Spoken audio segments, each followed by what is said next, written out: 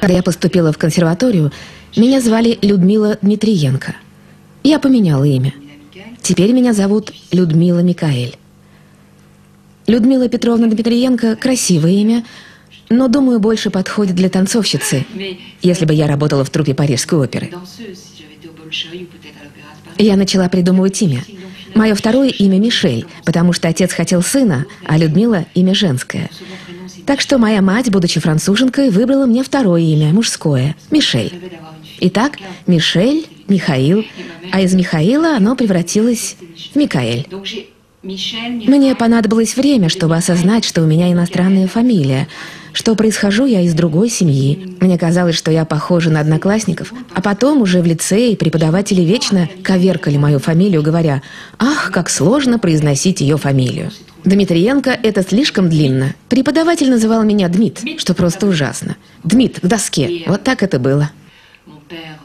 Отец. У него были красивые длинные волосы. Он приходил за мной в школу. И... Быть родом из такой семьи – великое счастье.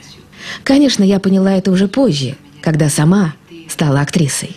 Я, облад... я обладаю огромным богатством, потому что объединяю в себе две культуры. Мне казалось, что внешне я похожа на русскую балерину, и я очень любила балет. А произошло, как произошло.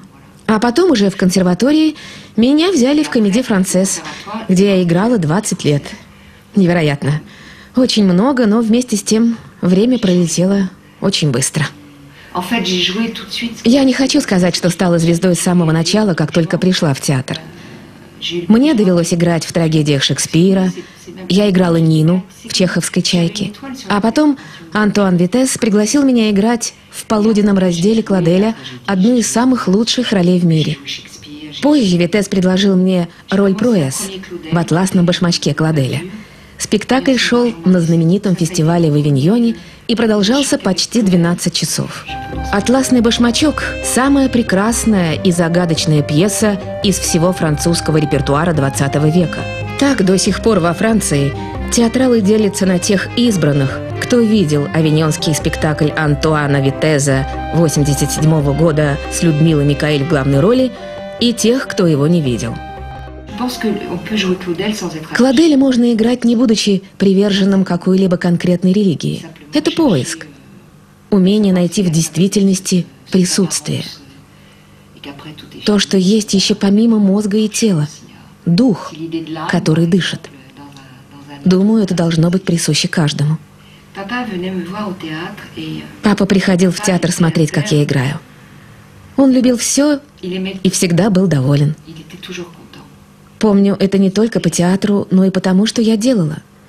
Он считал меня красивой, считал, что я хорошо играю. Отец меня любил, и я никогда не слышала от него критики в свой адрес. Он помогал мне в моих поисках. Именно поэтому мне его очень не хватает.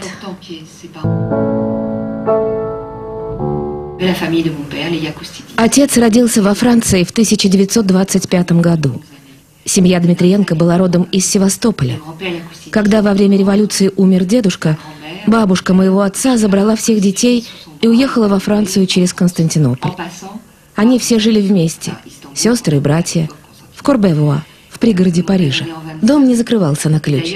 Любой мог войти, и хотя они были бедные люди, для всех всегда был накрыт стол. Отец, конечно, водил меня к ним. И независимо от времени дня, обед это был или ужин, мне предлагали поесть. Первое слово, которое я выучила по-русски, это «кушай, кушай». Папа пытался научить меня говорить по-русски, но меня это смешило.